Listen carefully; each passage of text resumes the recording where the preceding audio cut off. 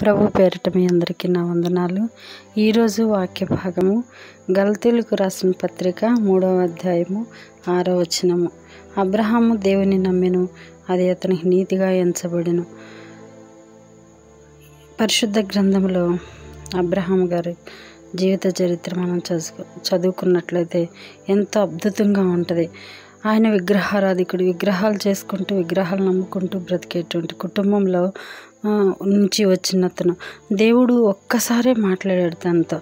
పలానా చోటకి బయలుదేరు అని చెప్పాడు. పలానా చోటకని కూడా చెప్పలేదు. నువ్వు లేచి బయలుదేరమని చెప్పాడు దేవుడు. అయితే అప్- అప్పుడే ఫస్ట్గా తను దేవుని స్వరాన్ని విన్నాడు. విన్న వెంటనే దేవుడు చెప్పిన వెంటనే దేవునికి లోబడి దేవుని దేవుని యందు నమ్మిక ఉంచి దేవుని మాటను పట్టుకుని బయలుదేరి బయలుదేరిన వాడుగా ఉన్నాడు. అయితే ఇక్కడ దేవుడు అంటున్నాడు అబ్రహాము నన్ను నమ్మాడు నా మాట విన్నాడు అదే నీతిగా ఎంచబడింది అతనికి. అవును మనం ఎప్పుడైతే దేవుని మాట వింటామో దేవుని మాటకు లోబడతామో దేవుని ఎందు నమ్మిక ఉంచుతామో దేవుని ఎందు విశ్వాసం ఉంచుతామో అదే మనకు నీతి. ఆ మాట వినడమే నీతి. ఆ దేవుని ఎందు నమ్మిక ఉంచడమే నీతి. కాబట్టి అబ్రహాము దేవుని నమ్మాడు కాబట్టి అది అతనికి నీతి గాయించబడింది అయితే అటువంటి నీతి మనం కలిగి ఉండాలని దేవుడు కోరుకుంటున్నాడు. అందుకే మతేసు వార్త ఆరో అధ్యాయంలో ముప్పై మూడో వచనంలో మొదట నా నీతిని వెతకమంటున్నాడు దేవుడు.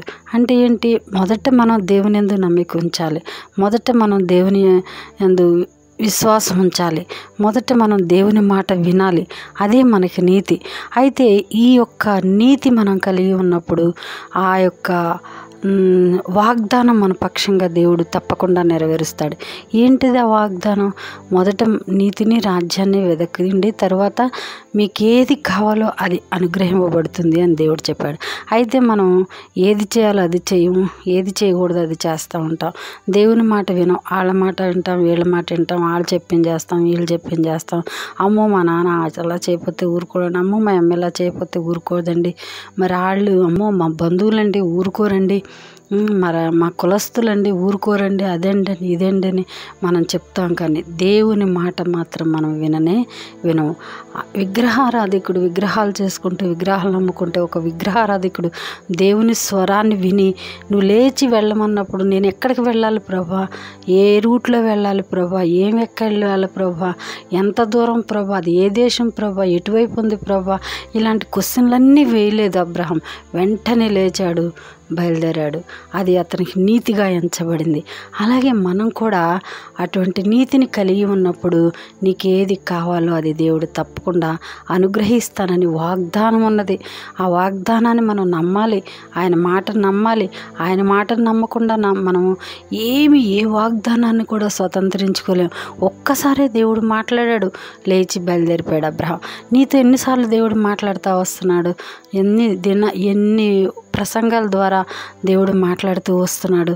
ఎన్ని విధాలుగా దేవుడు నీతో మాట్లాడుతూ వస్తున్నాడు. టీవీల్లో మరి యూట్యూబ్ ఛానల్స్లో ఇలా మరి చర్చెస్లో మరి ఎన్నో రకాలుగా దేవుడు నీతో మాట్లాడుతూ వస్తున్నాడు. దేవుని మాటను వింటున్నావా? దేవుని మాటకు లోబడుతున్నావా? దేవునికి భయపడుతున్నావా?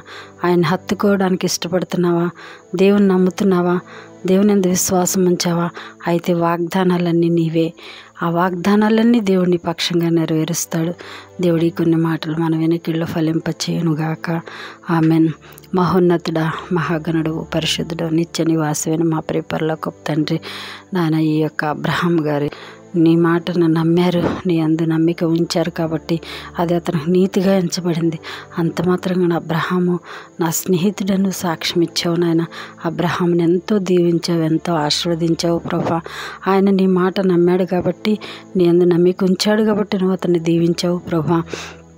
మేము కూడా నీ అందు నమ్మిక ఉంచి నీ అందు విశ్వాసం ఉంచి నీ మాట విని నీ మాటకు లోబడి నీ మాటకు భయపడి నువ్వు చెప్పినట్లుగా మేము చేస్తూ నాయన వాగ్దానాలన్నీ స్వతంత్రించుకునే గొప్ప బాధ్యత నాయన మా ప్రియులకి నాకు మాకు అందరికి అనుగ్రహించమని అట్టి కృప కృప వెంబడి కృప అనుగ్రహింపచేసి నడిపించమని ఎవ్వరు ఎక్కడ ఏ విధంగా నిరాశతో ఉండకుండా సహాయం చేయండి ప్రభా.